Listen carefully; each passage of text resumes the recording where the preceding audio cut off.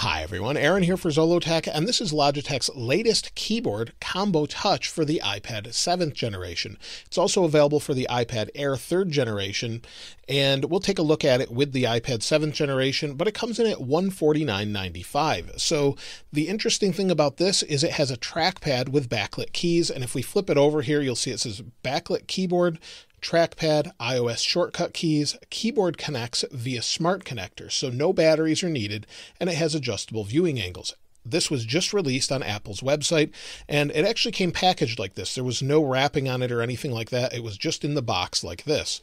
So we'll slide it out here, and this is about half the price of what Apple is charging for the new Magic keyboard that has similar fun- functionality or connectivity, but here's the keyboard itself. And this reminds me a lot of a Surface keyboard with the trackpad, backlit keys, and we'll take a closer look in a moment, but it says Combo Touch, and it feels very much like the first generation smart keyboard for the iPad Pro. So it's got that lip around the edge for the keyboard. Here's the case, and it should hold the Apple Pencil. Let's see if I can get this out of here. There we go. It should hold the Apple Pencil in this little loop here, and it's a fairly thick case, but it's got a little wrapper on here. So let's take this off, and I guess that allows us to open the back up. There we go. So it allows us to angle it a few different degrees. So we'll take a close look at that in a moment. And then inside, we just have this paper here, or probably in a manual that tells you how to use it. So it just has a little bit of instructions and then it looks like a warranty pamphlet. And that's it. So let's set the packaging aside and take a closer look at the keyboard itself. Now I did quickly try this out with the third generation iPad Air to see if it would work and it works fine. It might be a little bit thick for that, but it's rubberized. It's fairly thick, pretty rigid but it is fairly thick. And then this is the keyboard. And like I said, it reminds me a lot of a Surface keyboard, maybe combined with a smart keyboard from Apple. And it's got a clickable touchpad. It's only clickable down at the bottom, not at the top but it's clickable and you've got a pretty decent throw on the keys. So that looks pretty good.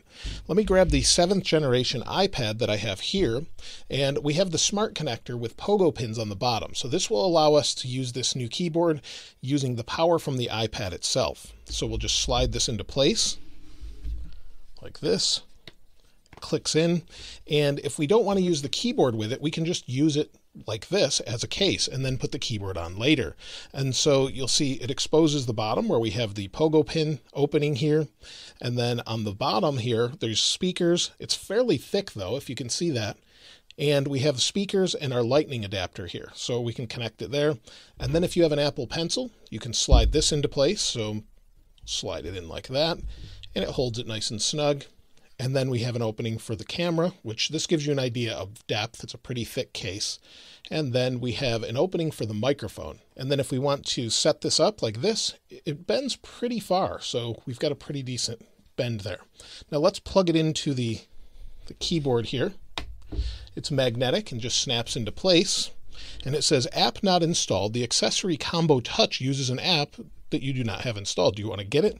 Let's try it out. So it looks like we can lay this down a little bit further. So we can lay down the iPad like this if we want, and you've got a nice angle on it for viewing. And it seems to be pretty rigid. No matter where you place it, it seems to stay in place pretty well. So if you want it back like that, it's fine. Now, one thing I noticed right away is you can't fold it up like you could a Surface keyboard. So if you're used to that, it won't work like that.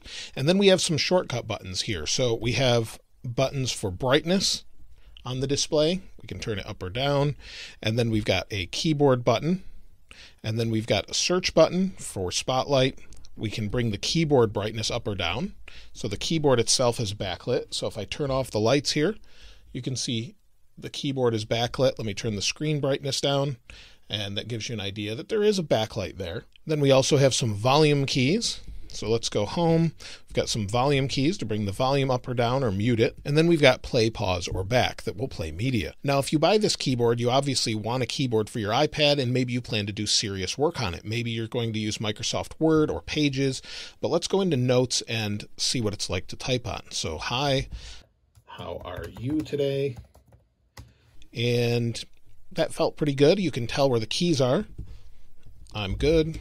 How are you? And the keyboard is a little small. I can definitely tell I would miss the return key and maybe hit a few keys before it. So that may be something to get used to, but the actual feel of the keyboard is quite good. So this keyboard works well, and it seems like it's pretty good. So the throw of the keys, the resistance, the actual the actual feel or tactile feel of them is quite good. It reminds me of maybe a slightly shortened version of what we have on the 16 inch MacBook Pro or the new MacBook Air with the scissor switches. So I think Apple did a good job here. And I don't normally type like most people, so I could type Hi, everyone. This is Aaron from Zollotech. You'll see how I type. It's a little bit different than most people, but it gets the job done for me most of the time. And it feels pretty good. I can tell where most of the keys are, but again, the small return in caps lock may be an issue from time to time, but in general, I think most people will have no problems with this at all. So everything feels very solid and it doesn't feel cheaply built. The only concern I have maybe is this lip around the keyboard. It feels kind of strange, but it held up well on my iPad Pro Smart keyboard from the first generation, so maybe this one will too. And now we have the trackpad as well. So I didn't do anything to activate this or turn it on or anything like that. It just worked. So if I swipe up with three fingers and hold, it will bring in any apps that we have open. Click and we go back. Let's go home here. And then let's try and right click or two finger click on settings. And then we've got our quick actions here. So it looks like it works just like you would expect. Again, swipe up, go home. We can swipe left to right. We've got all the gestures enabled and we've got this full trackpad and it feels pretty responsive. Let's go to Safari here, slide this over and then scroll through. It's pretty nice. The trackpad actually feels really good. Feels very similar to what you get on a, a Mac, really. So it works pretty well. If we go home or back in, swipe left or right. So that part's nice. Let's check out the app from Logitech. So we have a couple different options here. So you didn't have to install this to use the keyboard, but it gives you a couple other options. So one of them is the time it takes for the keyboard backlighting to turn off after inactivity. So five seconds all the way up to 60 seconds. And then we also have fade, speed at which the lights fade off. So we can have them fade slow or fast, which is nice. It's a nice little touch. It's not really necessary, but we have those options for this keyboard. Now you can use this for whatever you would use a trackpad for on your iPad, and you don't have to use it. Like I said, you can just take it off, use it for media viewing, Maybe you want to view some content, watch a movie.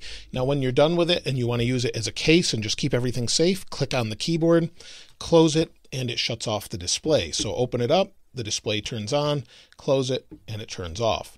Now, one thing to note this is very thick. In fact, you can see here with the headphone jack how thick it is, but to give you an even different idea how thick it is or for a comparison, here is an iPhone 10R and an iPhone 11. So if I put those next to it, right next to the case itself, you'll see that the case is actually about the same thickness as an iPhone 11 and 10R stacked with cases on them from Apple. So these are Apple cases on those devices. So the Combo Touch from Logitech is very thick, but it should protect it if you drop it because you have that thick rubber barrier around the whole thing. Now, the only thing that may be an issue for a few people is the texture of this material. This material feels somewhere in between what Apple has for their smart keyboard, the cloth keyboard covered keys, and plastic. So it's somewhere in between that. It does feel like it's sort of a nylon plastic feel, and the texture may be a problem for some people. It doesn't really bother me too much, and I'm pretty sensitive to those things, but it has a specific sound that may bother some people. So just keep that in mind. The, the keyboard sounds pretty good though. It doesn't feel cheap and it seems like it's going to stick together pretty well. And I love that it doesn't have batteries, so that's really nice. Now, if you have an Apple Pencil and you're using the pencil loop that we have here, the pencil feels nice and secure. It's not going to fall out if you're just carrying it around, throwing it in a bag. It's in there nice and snug. The only thing you may have to worry about is the cap for the pencil. And then another thing that I noticed is where you have your volume buttons, the pencil's sort of in the way. So you push it out of the way a little bit, and you have to give it a good amount of force to actually press the volume up and volume down because of the thickness of this case. So it's just something that uh, seems like a little bit of annoyance, but you can turn the volume up and down on the keyboard itself. So you don't need these buttons, but I guess they're there if you're not using the keyboard with it. So it's really nice. And again, it's available for the iPad Air 3, and no one sent me this. I actually bought it myself, so I wanted to try it out and you have all the functionality that you expect from a mouse on an iPad. So it's really pretty interesting to use a, an iPad with a trackpad, but I'll be using it more with the Magic Trackpad on the iPad Pro a little bit later on when I can get my hands on one of those. But let me know what you think of the Combo Touch in the comments below. Is this too thick for you to use, or is it something you think would make your iPad that much more useful? Let me know in the comments below. If you'd like to see more videos about this or have any other questions or how it would compare to, say, Apple's Smart Keyboard or anything else you'd like to see, I always love to hear what you have to say in the comments. If you'd like to get your hands on the wallpaper that I have on the iPad from this video, I'll link it in the description as I always do. And if you haven't subscribed already, please subscribe. And if you enjoyed the video, please give it a like. As always, thanks for watching. This is Aaron. I'll see you next time.